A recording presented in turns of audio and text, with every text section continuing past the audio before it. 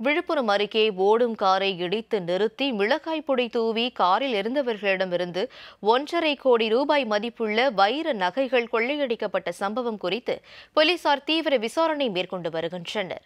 விழுப்புரத்தை அடுத்த ஆசாரங்குப்பம் பகுதியைச் சார்ந்த கருணாநிதி என்பவருக்கு சொந்தமாக ஐம்பத்து ஆறு புள்ளி ஏழு கிராம் எடை வைரம் பதித்த நகைகள் உள்ளன. சுமார் ஒன்றரை கோடி மதிப்பிலான அந்த நகைகள் தனது உறவினரான சிவா என்பவர் மூலம் விற்பனை செய்வதற்காக கருணாநிதி தனது காரில் திண்டிவனம் கொண்டு சென்றார். கோபாலபுரம் அருகே கருணாநிதி சென்றபோது மற்றொரு காரில் வந்த நான்கு பேர் கொண்ட கும்பல் அவரது காரை இடித்து நிறுத்தியது.